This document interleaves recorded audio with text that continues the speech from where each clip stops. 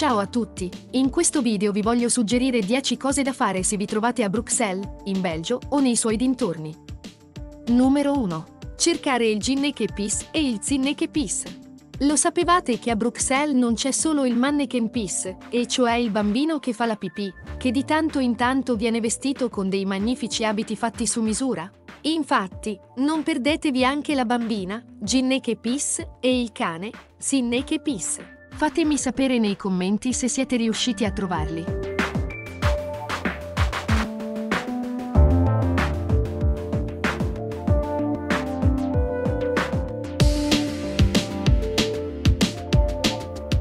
Numero 2. Mangiare le patate fritte belghe. Uno degli street food belgi più apprezzati sono le patate fritte, servite nel classico cono di carta. Chi le ha provate sa che sono buonissime sia per la varietà di patate speciali che crescono in Belgio, sia perché sono fritte due volte. La prima nell'olio e la seconda nel grasso.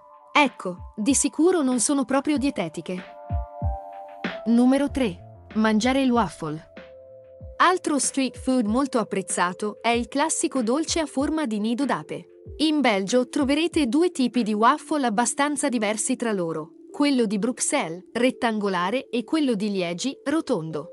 Vi consiglio di assaggiarli entrambi.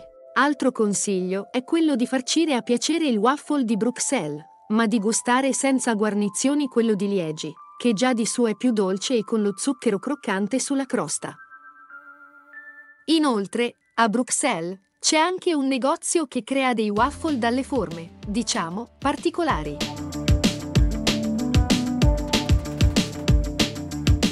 Numero 4. Grand Place by Night da non perdere, nelle ore serali, una tappa nella piazza principale di Bruxelles, la Grand Place. Resterete estasiati dalla vista dei palazzi che circondano completamente la piazza, sapientemente illuminati per far risaltare le numerose torri, guglie, statue e intarsi dorati.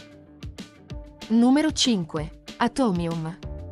Anche se un po' fuori mano, è da visitare l'iconica e imponente struttura in acciaio che rappresenta un atomo, costruita per l'Expo del 1957. All'interno sono presenti mostre di modernariato e temporanee, collegate tra loro tramite scale mobili illuminate da laser futuristici.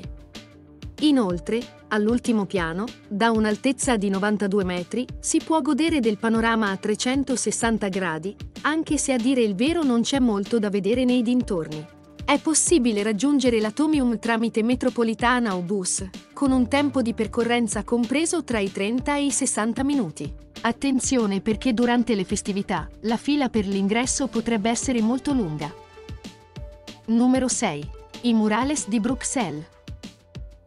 Attività completamente gratuita è la ricerca dei 60 murales che tappezzano gli edifici di Bruxelles. Non ci sono molte indicazioni a riguardo, e spesso sono indicazioni parziali. Si tratta quindi di una vera caccia al tesoro. Perdetevi per le vie della città e ogni tanto vi imbatterete in una splendida opera a cielo aperto.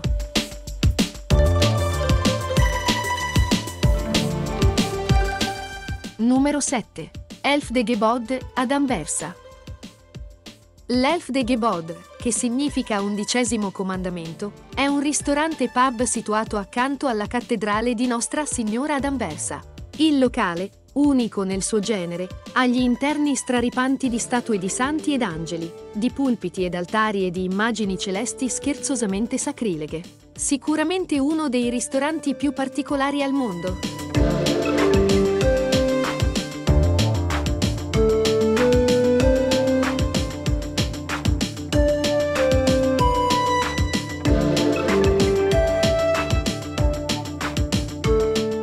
Può agevolmente raggiungere Anversa da Bruxelles con il treno. Il tempo di percorrenza è di circa 40 minuti e il costo del biglietto andata e ritorno è attualmente pari a 17,80 euro. Se però viaggiate dal venerdì alla domenica, il costo del biglietto si abbassa a 10,20 euro. Potete verificare gli orari e le tariffe nel sito ufficiale delle ferrovie belghe www.belgiantrain.be. Dalla stazione centrale di Anversa, con una piacevole passeggiata, in circa 20 minuti si raggiunge la cattedrale.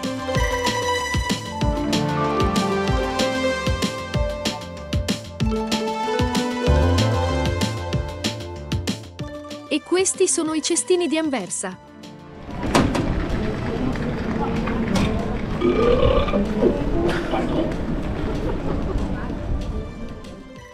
Numero 8. Dulle Grit Agent. Altro locale molto particolare è il Dulle Grit Agent, un antico pub dal carattere gotico e medievale. La caratteristica principale di questo pub è che si prendono impegno una tua scarpa dopo l'ordinazione e te la restituiscono solamente quando hai pagato. La scarpa sequestrata viene messa in un cesto che viene poi issato verso il soffitto al centro della stanza. Da Bruxelles è possibile raggiungere Ghent in treno.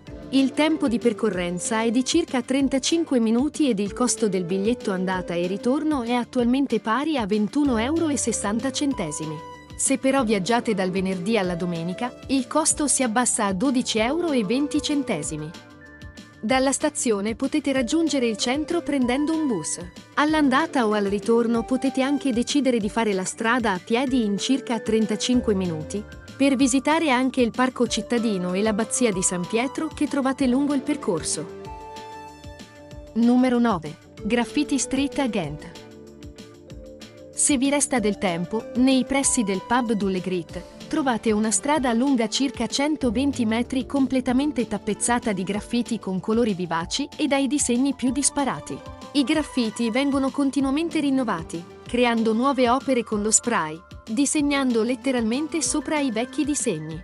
È molto probabile imbattersi in qualche artista di strada al lavoro e scambiarci qualche chiacchiera assieme. Numero 10. Giro in barca a Bruges. Ultimo della lista, ma probabilmente il primo in termini di bellezza, è il giro in barca nei canali di Bruges, uno dei borghi più belli e meglio conservati che io abbia mai visitato. Proprio i canali e i riflessi delle case sull'acqua rendono l'atmosfera magica. Dedicate una giornata per la visita di questa meravigliosa cittadina. Da Bruxelles si può raggiungere Bruges in treno.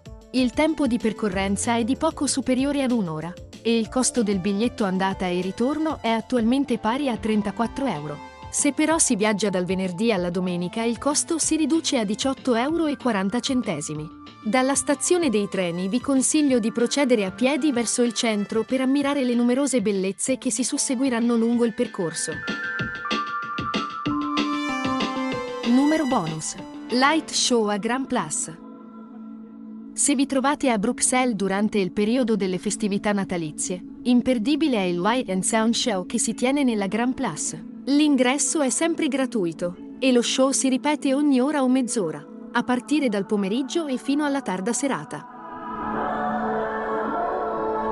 Se avete altri suggerimenti non esitate a scriverli nei commenti.